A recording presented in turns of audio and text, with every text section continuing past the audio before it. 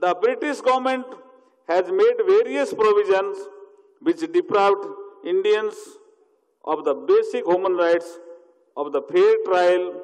Criminal code was based on the concept of punishment. Now we are changing. The Indian Penal Code has been changed Bharatiya Nyay Sanhita.